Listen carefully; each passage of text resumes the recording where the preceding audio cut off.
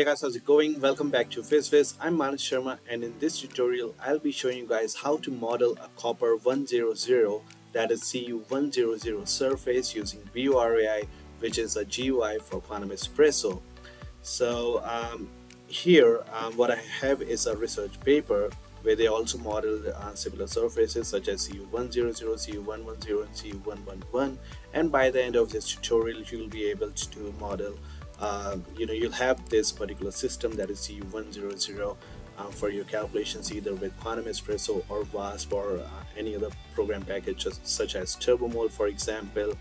And just to you know confirm that whatever we are modeling is correct or not or agrees with literature or not. So although this paper already showed it but um, I also have opened several other papers that I will link in the description down below where you can check how the CU100 surface is expected to look like and whether what we have achieved is um, correct or not. So yeah so um, these are the few some of the papers that have uh, you know bookmarked. And let's have a closer look at how the CU100 is expected to look like. So essentially you expect you know some copper atoms aligned uh, to each other like in one direction and touching each other as well. And the second layer atoms are then slightly visible from between um, these uh, you know uh, aligned copper atoms. So if you compare it to the 110 surface there the second layer atoms are much more visible while in the 111 surface they are very barely uh, visible. So CU100 shows the second layer uh, atoms slightly more. And the same thing can be seen over here in this particular figure that you have these copper atoms aligned with each other and then some second layer atoms are visible slightly. Same can be seen in this particular paper and then same can be seen in this particular paper where the um, red color um, is denote the first layers and second uh, sphere uh, layer layers are denoted by the yellow uh, colored spheres. Yeah so um, yeah so this was just a brief you know intro to uh, how you should approach any uh, modeling um, that you're doing that you should always compare your structures well um, with literature.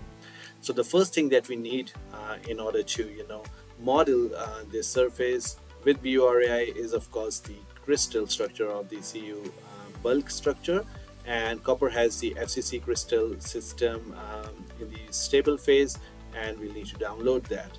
And by the way here I won't be telling you like much details about BURAI because I've already created several tutorials on that.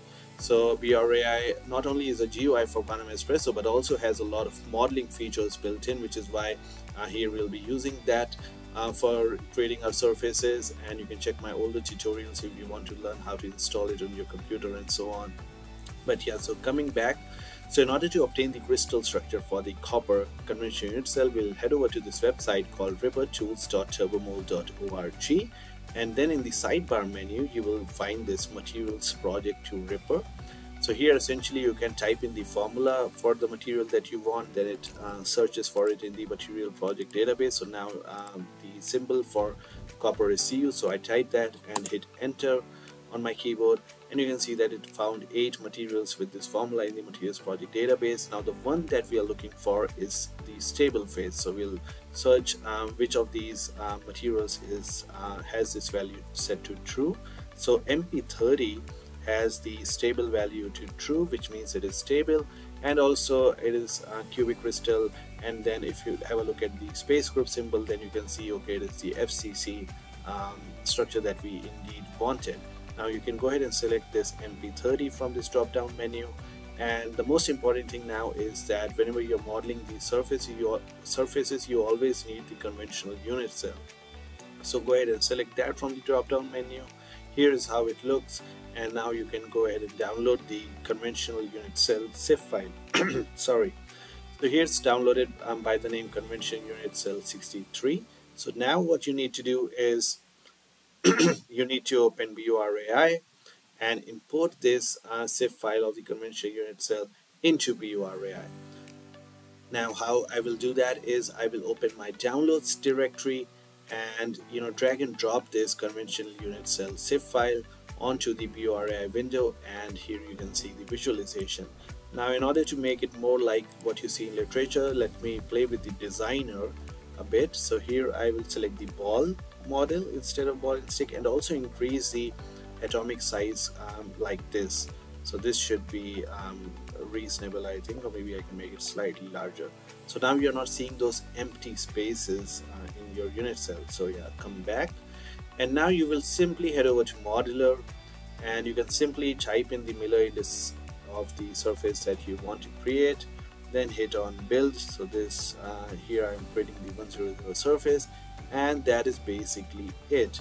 Now in order to make it look like more like literature you can also create a you know larger surface by um, you know typing in here 2 by 2 and then hit on build so now it is much larger uh, and the surface is much larger and also you can increase the thickness to let's say four layers by just taking this value to 2 so now you have a four layered CU100 surface. And now let's compare it um, with literature. So let's see how it looks.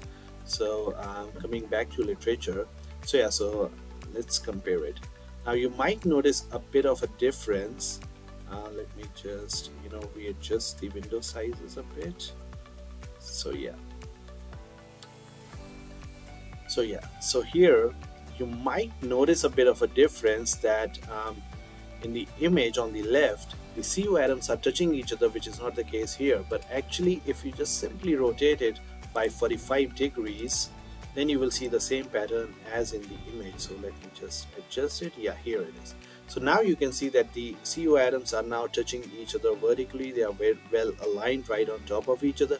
And between those uh, you know four atoms on the left uh, you can see that the second layer atom is slightly visible. The same situation is here in what we have modeled so we have these four atoms from the top layer and then the second layer atoms are visible from between those. So yeah so although our structure is slightly tilted uh, it doesn't really matter in your uh, computational studies um, what the uh, orientation of the unit cell is. You'll get the same results. So that is completely all right.